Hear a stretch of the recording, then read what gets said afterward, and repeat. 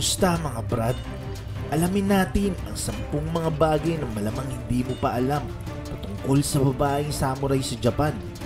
Kung bago ka lang sa aking channel, huwag kalimutang i-click ang subscribe button at notification bell para updated ka sa mga kwento at trivia na gaya nito. Let's go! Bago pa man maging tanyag ang mga samurai noon, ang mga Japanese fighter ay sinasanay na sa paggamit ng espada at sibat. Sa kabilang banda, may mga kababaihan din na sinanay sa paikipagdigma at tinatawag itong Onabugeisha o Woman Samurai Warrior. Ang Onabugeisha ay sinanay sa paggamit ng naginata, kaiken, at yung art of Tantojutsu sa mga labanan. Ang naginata ito yung sandata na parang sibat. Isa ito sa iconic weapon ng babaeng mandirigma sa Japan. Ang kaiken naman ay isang dagger na parang kutsilyo lang ang haba.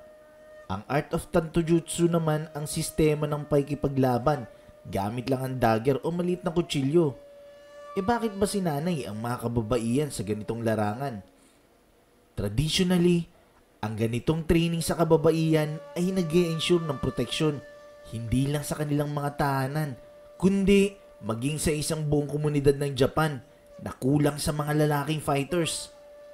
Ito na ang listahan ng sampung mga bagay na hindi mo alam sa mga babaeng samurai.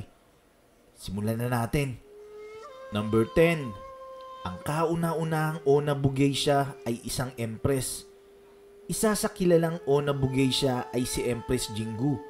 Siya ang nanguna sa pagsalakay sa karya ng Sila na bahagi ng Korean Peninsula matapos mapaslang sa labanan ng kanyang asawa na si Emperor Chuai na pang 14th Emperor ng Japan.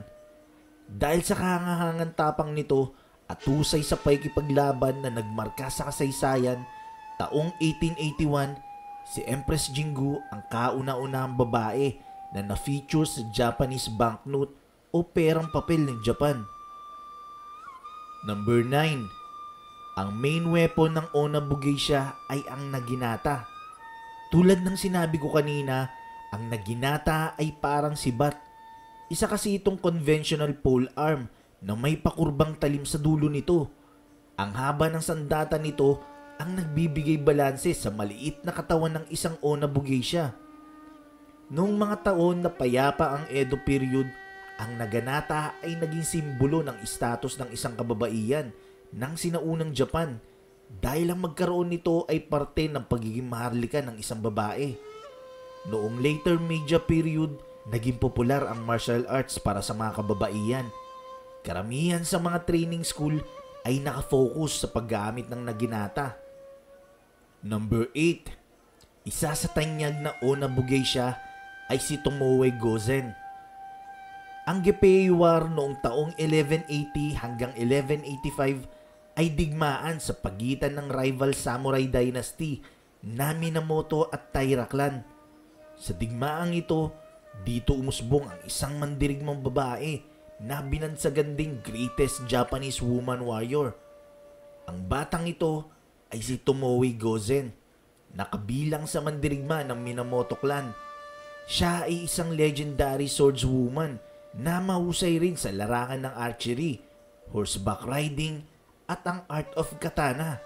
Alam naman natin na ang katana ay iconic sword ng isang samurai. Si Tomoe Gozen medyo kakaiba siya sa common na Ona Bugeisha. Isa siya sa kilalang babaeng mandirigma na naka-engage sa offensive battle na kilala sa tawag na Ona Musha. Sa halip na defensive battle na mas common sa traditional Ona Bugeisha. Dahil tulad ng sinabi ko nung una, Karamihan sa Ona Bugeisha ay sinanay para protektahan ang kanika nilang mga tahanan. Sa battlefield, si Tomoe Gozen ay respetado at pinagkakatiwalaan ng kanyang mga hukbo.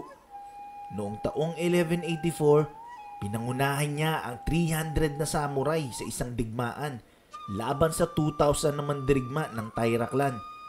Biruin mo 300 lang sila laban sa 2,000 na kalaban at alam nyo ba na sa 2,000 na kalaban, e lang ang nakaligtas ng buhay.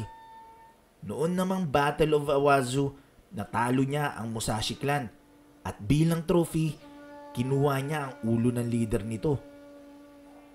Number 7. Si Hojo Masako ang kauna-unahang una Bugeisha na pumasok sa politika. Si Hojo Masako ay asawa ng unang shogun ng Kamakura period, taong 1185 hanggang 1333. Siya ang kauna-unahang una Bugeisha na pumasok sa politika. Matapos mamatay ng kanyang asawa, siya ay naging Buddhist nun. Isang tradisyon na binabagsakan ng isang samurai na balo. Pero sa kabila nun, involved pa rin siya sa politika at pamamalakad ng gobyerno. Number 6. Ang Ona Bugeisha ay kabilang sa mga maharlika. Mula 12 hanggang 19th century, ang mga upper class na kababaihan ay sinanay ng art of war, maging sa paggamit ng naginata, primarily para depensahan ang kanilang mga tahanan. Ito ay paghahanda sa maaaring pagsalakay ng mga kalaban sa mga komunidad at pag nangyari yun, ini-expect na ang Ona Bugeisha ang haharap dito para may paglaban hanggang sa huli at ibubuwis ang kanilang buhay ng may dangal at karangalan na bit-bit-bit-bit ang kanilang naginata. Number 5. Malaki ang bahagi ng Ona Bugeisha sa mga samurai. Sa ilang century na nagdaan matapos ang pamamayagpag ni Tomoe Gozen, ang Ona Bugeisha ay umunlad at naging malaki ang bahagi sa mga samurai class. Ang mga babaeng mandirigma ay hindi lang pinoprotektahan ng kanilang village, kundi nagbukas din ito ng mga eskwelahan sa buong Japanese Empire para itrain ng mga batang kababaihan sa martial arts at military strategy. Bagamat maraming iba't ibang clans o angkan ang nagkalat sa buong kalupaan ng Japan, karamihan dito ay may mga samurai warriors at ang lahat ay open na magkaroon ng Ona Bugeisha. Number 4. Ang mga babaeng ninja ay kilala bilang kunoichi. Noong 16th century, nag exist ang mga babaeng ninja na kilala bilang kunoichi. Ang mga ninja ay kilala bilang espiya, mamatay tao at mensahero na sinanay sa martial arts tulad ng taijutsu, kenjutsu at ninjutsu. Historically, isa ng halimbawa rito si Mochizuki Shiyome na kinumisyon ng isang warlord para bumuo ng isang grupo ng mga espiya na puro babae. Nirecruit ni Shiyome ang mga prostitute at mga pariwarang mga babae. Sinanay itong grupong ito sa paggalap ng mga impormasyon sa pangaakit, maging sa pagiging mensahero at assassin o mamamatay tao. Eventually, si Shiome at ang kanyang mga kunuichi ay lalong lumawak ang grupo. Umabot ito sa 200 hanggang 300 agents na nagsisilbi sa Takeda Clan. Kung matatandaan, ang Takeda Clan ang pinabagsak ng pinagsamang hukbo ni Oda Nobunaga at Tokugawa Ieyasu with bonus pa ni Hattori Hanzo sa side ni Tokugawa Ieyasu kung napanood mo ang video ko tungkol dyan. Number 3. Ang Battle of Aizu ang huling laban ng mga Ona Bugeisha. Nung Battle of Aizu noong 1868, ang 21-year-old na babaeng mandirigma na si Nakano Takeko ay pinangunahan ang grupo ng mga babaeng samurai na ang pangalan ng grupo ay Joshitai laban sa puwersa ng emperador. Si Nakano Takeko ay anak ng isang high-ranking official ng Imperial Court. Siya ay may mataas na pinag-aralan at sanay sa martial arts at paggamit ng naginata. Sa ilalim ng kanyang utos, ang grupong Joshitai ay lumaban kasama ang mga lalaking samurai at maraming kalaban ang napaslang sa harapang labanan. Unfortunately, si Nakano Takeko ay natamaan ng bala ng arkibus sa kanyang dibdib. Sa kanyang huling hininga, Hiniling niya sa kanyang kapatid na babae na pugutin na ang kanyang ulo at dalhin niya pa uwi para hindi makuha ito ng kaaway bilang trophy. Si Nakano Takeko ang kinonsider na last female samurai warrior ng kasaysayan at ang Battle of Aizu ay tinaguri ang huling laban ng Ona Bugeisha. Matapos ang pagbagsak ng shogunate feudal Japanese government ito ay minarkahan na ang ira ng mga samurai ay nagtapos na. Number 2. Ang status ng Ona Bugeisha ay bumagsak noong Edo period.